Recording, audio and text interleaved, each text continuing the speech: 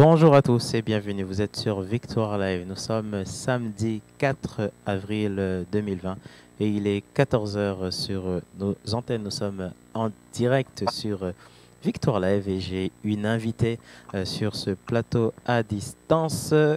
Alors, bonjour. Comment ça va, Taïla Ça va bien? Bonjour David, ça va très bien et toi? Oui, très contente. à toutes les personnes qui sont connectées. Ah, da- ah bah ça c'est très gentil. Alors les auditeurs, les internautes, vous avez le coucou de notre euh, sœur qui est connectée. De, de quelle ville? Donc depuis Metz, voilà, c'est dans l'est de la France. D'accord, qui est une très belle ville, hein Non? Ça dépend, ça dépend. Moi, franchement, je la trouve très chaleureuse. On s'y plaît. On Mais, plaît. euh, voilà. Toi, euh, ça dépend des personnes en fait. D'accord, ok. Alors, euh, bienvenue. Alors, une petite présentation. Qui es-tu? Alors, euh, pour les personnes qui ne me connaissent pas, moi, c'est Alina. Donc, euh, je, euh, j'ai longtemps servi le Seigneur et je continue. Ça fait dix ans que je chante dans l'église locale, en fait. Oui. Et, Dieu m'a permis, en 2019, de sortir un premier projet musical, donc la ré- réalisation d'un clip vidéo. Oui. J'ai travaillé avec une équipe formidable et on a pu donc publier ce premier clip vidéo. Le titre c'est Où étais-tu? Voilà, donc euh, j'ai commencé avec et l'album euh, sortira dans quelques temps normalement. Waouh, waouh. Alors, dans quelques temps, c'est-à-dire après, après le confinement, c'est ça On aura droit au clip? Prévu pour avril, mais le souci c'est qu'avec le confinement, Ouais. on va tout a été reporté et donc voilà. Mais Ben- je bénis le Seigneur, euh, il est le maître du temps et l'essentiel c'est que ce soit fait au bon moment. Amen, amen, amen. Alors, pour parler, alors entre parenthèses, comment se passe pour toi le confinement? Le confinement pour les personnes chrétiennes, c'est un moment, de toute façon, où on, est connecté avec le Seigneur. C'est c'est un moment pour moi qui, qui est assez particulier parce que euh, c'est la première fois que ça arrive, hein, que toutes les personnes soient confinées dans le monde entier. J'ai beaucoup de peine pour les personnes qui ont perdu euh, des proches, pour tous ces décès, mais euh, je prie que Dieu nous fortifie donc voilà, euh, je passe euh, mon moment de confinement dans la présence de Dieu parce que de toute façon, sans la présence de Dieu, c'est difficile de supporter cette pression. Euh, la présence de Dieu m'apporte la paix. Ouais, ouais. Voilà, je, je, je veille à ce qu'il y ait une atmosphère chez moi qui me permet de, de, de supporter toutes ces choses, d'intercéder pour mes frères et sœurs aussi, parce que ce n'est pas évident. On a tous des proches qui ont été touchés par, par cette maladie et je prie vraiment que tout ça, ça s'arrête très vite. Exactement. On prie aussi, donc euh, tout le corps du, du Christ est mobilisé euh, pour euh, ce temps aussi de confinement. Et aussi, il faut aussi prier aussi en dehors euh, du confinement lorsque tout ça, ça sera terminé. Prier en, ton- en tout temps et en toutes circonstances. Alors, ma soeur, tu es venue avec un thème. De quel thème s'agit-il? J'ai choisi le thème de la louange sans arrêt. La louange sans arrêt, peut-être pas comme on l'entend, Ouais. c'est ça que je vais me permettre de développer un tout petit peu donc euh, lors de notre échange. Euh, en réalité, la louange, c'est un style de vie. On Waouh. l'adopte ou pas. Ouais. Mais en réalité, c'est important de l'adopter parce que c'est ce qui nous permet d'avoir la force et d'avoir l'es- l'es- l'espérance et l'espoir chaque jour. La vie n'est pas facile. Il faut donc s'accrocher au Seigneur. Amen, amen, amen. Alors, excusez-moi, donc je, je, j'ai oublié de, d'annoncer une petite information. Je salue aussi tous les euh, internautes aussi qui viennent aussi euh, d'arriver sur ce euh, plateau live. Voilà, excusez-moi pour, euh, pour, ce, pour ce petit couac. Voilà. Alors, euh, c'est un thème qui est très intéressant. euh, Oui. Et, et, et, et c'est vrai qu'il est très. Il est, actu, il est, il est, comment dire, il, il nous parle. Voilà, il nous parle tous. Euh, le fait de pouvoir adorer, le fait de pouvoir louer sans s'arrêter, ça veut dire que je m'arrête pas dans la louange, c'est tout le temps, 24 heures sur 24, 7 jours sur 7. Oui, mais pas comme on l'entend. En réalité, il faut définir la louange. Pour certaines personnes, la louange se limite juste euh, donc à l'action de chanter. C'est l'accompagnement avec euh, les musiciens. Mais ce n'est pas ça la louange. En réalité, ça va bien au-delà. Il faut qu'on saisisse quel est le cœur même de la louange. D'accord. Ok, il faut connaître c'est quoi le cœur, c'est ça? C'est-à-dire pourquoi je loue? Exactement. Il faut savoir déjà qui on loue. Ouais, ouais, ouais, ouais. Il faut savoir à qui, à- à qui on s'adresse lorsqu'on loue ouais, le ouais. Seigneur. Le Seigneur, moi, moi j'aime bien dire, lorsqu'on aime quelqu'un, lorsqu'on on, on- on ressent euh, de l'amour et de l'affection pour quelqu'un, on pense à, à- tout le temps à cette personne en fait. On pense à cette personne, on, on veille à ce qu'elle ne manque de rien par exemple. Et la louange pour moi, c'est aimer Dieu Amen. Et euh, manifester son amour envers Dieu chaque jour. Ouais, ouais, ouais. L'être aimé est présent et l'être aimé n'est pas ignoré. C'est très important. Donc, la louange sans arrêt, en réalité, c'est prendre conscience que Dieu est là, Dieu est avec nous. Euh, cette période de confinement nous fait un tout petit peu réfléchir parce que souvent on est occupé avec le travail, les activités, euh, pour les personnes qui ont des enfants, l'éducation des enfants. On n'a pas forcément, en réalité, le temps nécessaire pour rechercher la profondeur chaque jour, alors qu'on devrait. Ce moment de confinement nous permet en réalité de, de faire une introspection sur, sur notre relation avec Dieu, D'accord. nos manquements avec Dieu. Parce que heureusement que Dieu est amour, mais je suis sûre que souvent par nos actions, consciemment ou inconsciemment, on le blesse en fait, on l'attriste.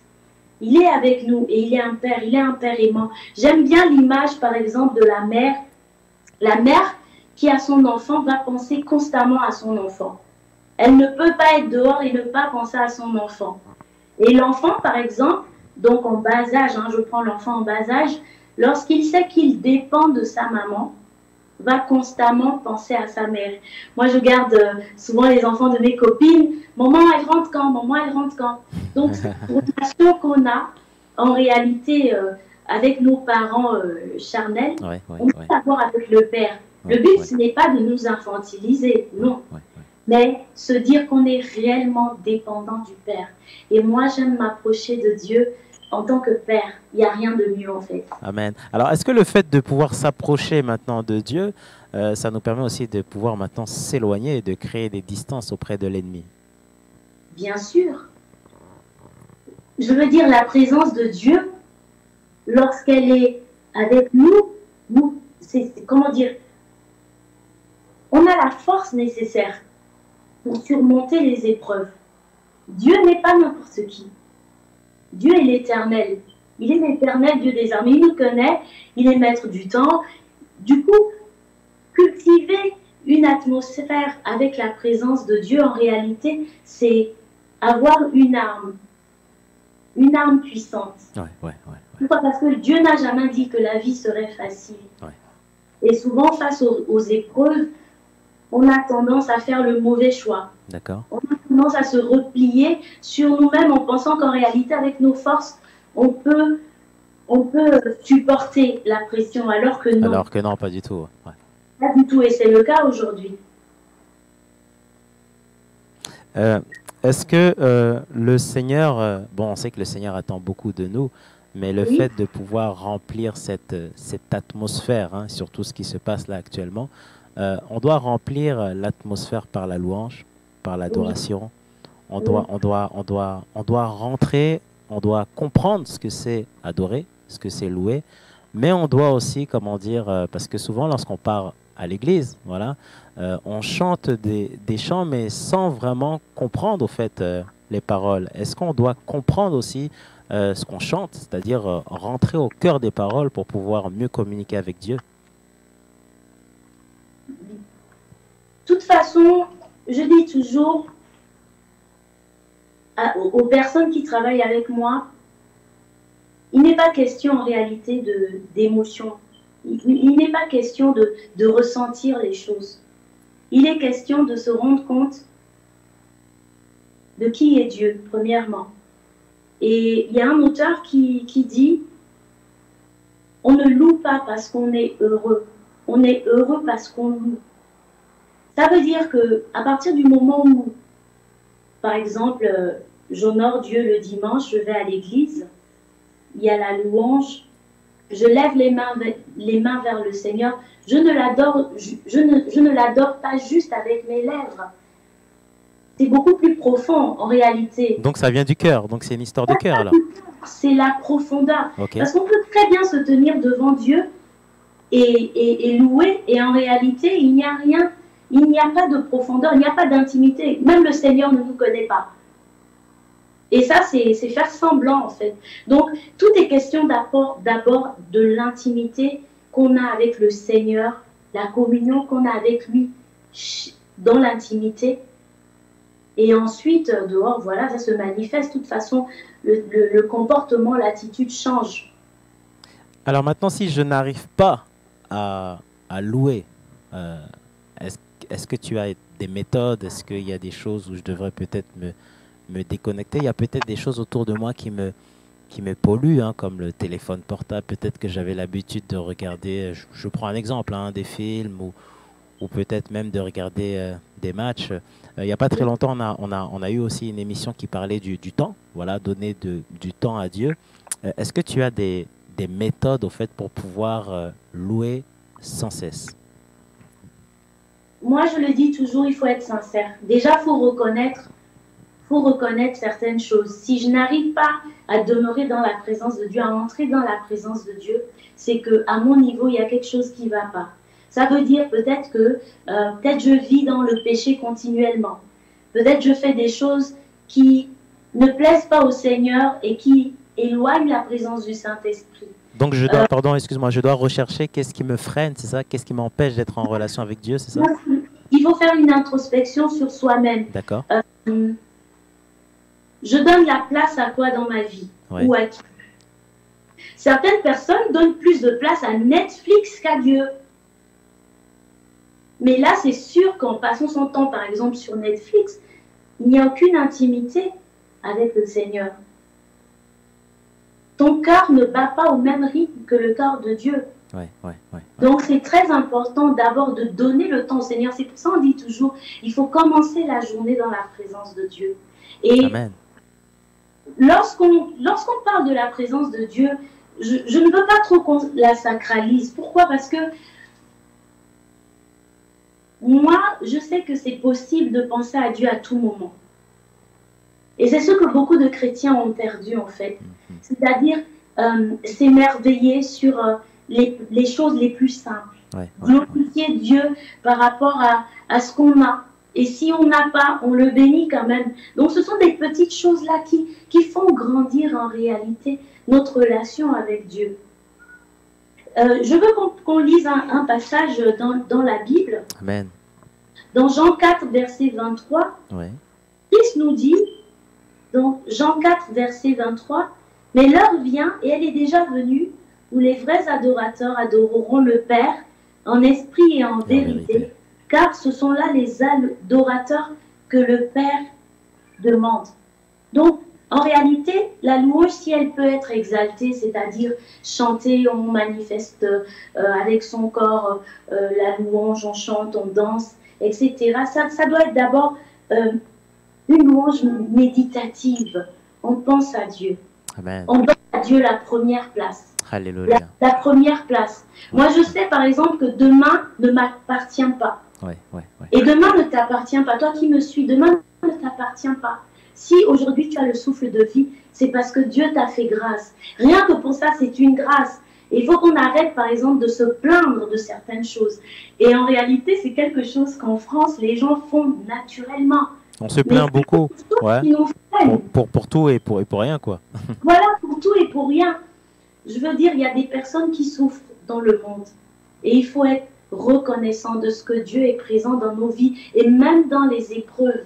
C'est pour ça que je veux rebondir sur, euh, sur la première chanson que j'ai écrite avec euh, l'équipe, bien entendu, euh, Clavie, Joram, euh, Emmanuel, et je remercie également Virginie qui a dansé pour ce clip vidéo. On les salue tous alors. Hein. Ils, ils, ont, ils, ont, ils ont tous participé, on va dire, à, au clip. Ils ont compris la vision. C'est un projet, on a travaillé ensemble. Et il faut le dire, seul, on ne va nulle part. C'est pas possible. Dieu met toujours dans nos vies des connexions divines. Et c'est très important de les identifier et de les honorer. Donc voilà, pour revenir à ce que je voulais dire, euh, j'ai puisé l'inspiration de cette chanson dans le livre de Job. Pour les personnes qui ne connaissent pas l'histoire, Job, c'était quelqu'un qui, euh, qui avait tout. C'était quelqu'un qui plaisait beaucoup au Seigneur. Il était juste, il était intègre. Et du jour au lendemain, Job a commencé à, à perdre tout. Il a perdu ses biens, il a perdu euh, ses amis, il a perdu sa, sa, place, il a, il a tout perdu. Et ses amis sont arrivés, ils lui ont dit, en réalité, si tu es dans cet état, parce que voilà, il était euh, très malade, si tu es dans cet état, c'est parce que tu as péché. Et Job a rebondi en expliquant, non, je sais ce que je fais, je n'ai pas péché. Job dans ces moments, n'a jamais renié le Seigneur. Dans l'épreuve, il n'a jamais renié le Seigneur. Et alors qu'il imagine, en fait, c'est passé comme ça dans sa tête, il s'est dit, c'est peut-être une injustice qui vient du Seigneur, Dieu se lève. Dieu se lève et il lui dit, dans Job 38, je vous invite d'ailleurs à lire tout ça. Amen. Qui est celui qui obscurcit mes desseins par des discours sans intelligence? Saint terrain comme un vaillant homme, je t'interrogerai et tu m'instruiras. Et là, Dieu commence à lui poser des questions. Oh, j'aurais pas aimé être à sa place. Je vous assure. Je, vous, je vous, invite à méditer sur Job 38, 39 et 40. C'est magnifique. Parce qu'en fait, ce sont des passages qui réveille la crainte de Dieu en nous. Et moi, lorsque j'ai lu ces passages, j'ai dit non, il faut que j'écrive là-dessus. Lorsque je dis où étais-tu, où étais-tu, où étais-tu, c'est, ce sont les questions que Dieu posait à Job pour montrer une seule chose, il est souverain. Amen.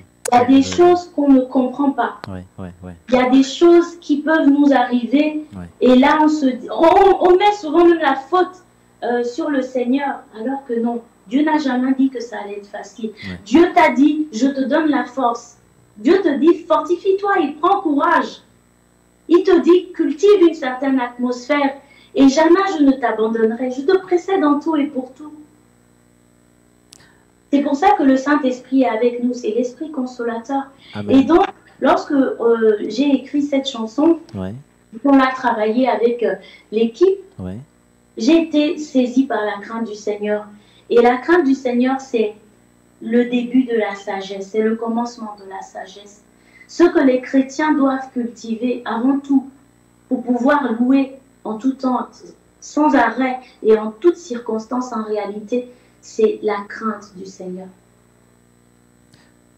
J'ai euh, une autre question aussi à te, à te poser. Alors c'est très intéressant, c'est vraiment très touchant ce que, euh, ce que tu dis. Euh, qu'est-ce que la louange t'a apporté en plus?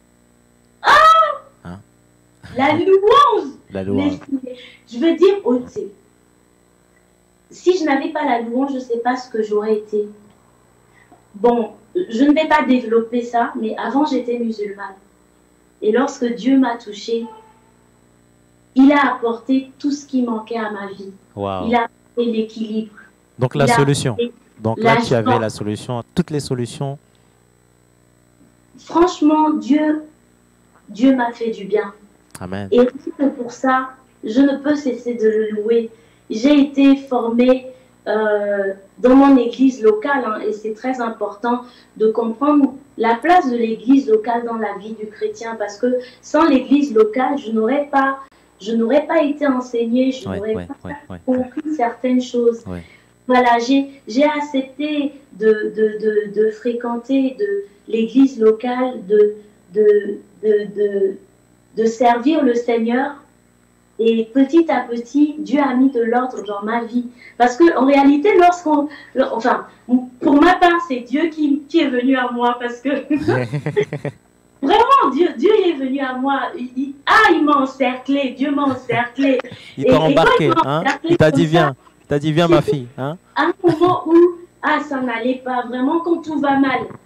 Vous savez, il y a une, une période j'invite chaque personne à, essayer d'ouvrir les yeux. Si dans ta vie, il y a toujours des échecs, si dans ta vie tu passes ton temps à te battre Si dans ta vie, tu es tout le temps dans la tristesse et la dépression, il te manque une chose, Jésus-Christ. C'est tout. Je t'assure que si tu lui ouvres juste la porte, tu vas être choqué de, tout ce qu'il va faire avec toi. Même si je ne le connais pas, même si je ne connais pas ce Jésus-Christ, Jésus-Christ m'ouvre cette porte de l'éternité. C'est pas grave, Jésus-Christ te connaît. Alléluia. Vous allez apprendre à vous connaître avec le temps. C'est ce, que je- c'est ce que je trouve fabuleux avec la marche avec le Seigneur en réalité.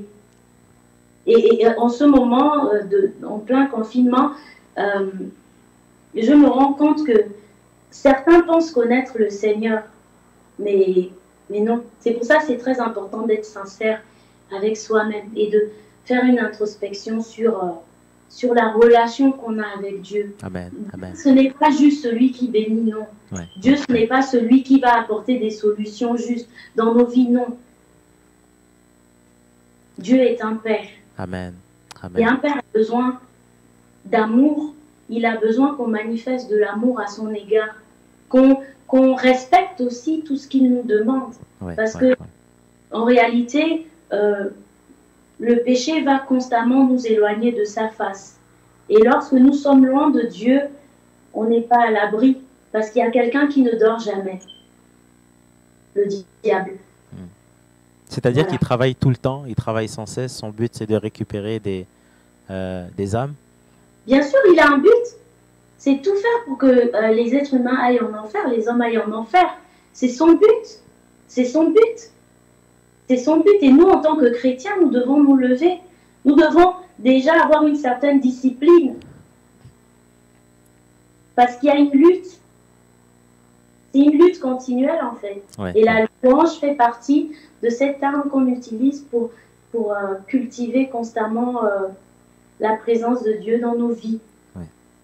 Alors, moi, j'ai un petit euh, témoignage. Donc, euh, c'est une personne qui a donné sa vie euh, à, à Jésus-Christ. Et ce qui se passe, c'est que cette personne combattait. Donc, sa mission, c'était de combattre les enfants de Dieu. Et il y avait une chose qui l'a, qui l'a, qui l'a, qui l'a choqué. Et surtout, cet ennemi n'arrivait pas à attaquer les enfants de Dieu qui étaient connectés avec Dieu et qui était surtout, c'est-à-dire que quand c'était le moment d'adorer, de louer, eh ben, on voyait que certains chrétiens, c'est ce qu'ils disaient, hein, certains enfants de Dieu, leur louange était euh, euh, constante, c'est-à-dire elle était permanente. Et on sentait que même quand l'enfant de Dieu sortait dehors, eh ben, il y avait comme un bouclier qui se formait. Et ce bouclier qui se formait, eh ben, c'était tout simplement cette atmosphère au fait, qui dégageait par la louange. Donc il expliquait euh, lorsqu'il a donné sa vie à Jésus que c'est incroyable. Voilà. Donc lui, il avait des ordres comme quoi sa mission, c'était au fait eh ben, de récupérer ses enfants de Dieu. Et lorsqu'il faisait eh ben, ses rapports, voilà, on lui disait alors, alors voilà, quel est ton quota, on va dire, pour cette semaine? Il disait, mais attendez, mais il y a un problème parce que chez les enfants de Dieu qui sont connectés, je dis bien qu'ils sont connectés à Dieu, il a dit c'est impossible. Voilà. Et ça montre comme quoi, en tant qu'enfant de Dieu, il y a des choses qu'on ne réalise pas, hein, voilà, mais le fait que tu loues, rien que tu loues, je parle là parce que là, le thème de, euh, de, de, cette émission, c'est louer euh, sans arrêt. Eh ben, c'est aussi une protection. C'est le fait, au fait, d'être euh, constamment connecté à la parole de Dieu. Et il y a beaucoup de choses, au fait, qu'on ne voit pas autour de nous. Voilà. Il y a des attaques. L'ennemi, en fait, eh ben, va tout faire voilà, pour essayer de te déstabiliser. Mais c'est à toi de rester constamment, je dis bien constamment, connecté à la parole de Dieu. Et surtout, surtout, surtout, n'oublie pas qu'il est Dieu. Il nous reste quelques minutes avant de clôturer cette, cette émission. Est-ce que tu as d'autres choses à, à ajouter? Je veux juste encourager chaque personne en réalité à se rapprocher du cœur du Père, à chercher à faire sa volonté et surtout ne pas tomber dans l'égoïsme.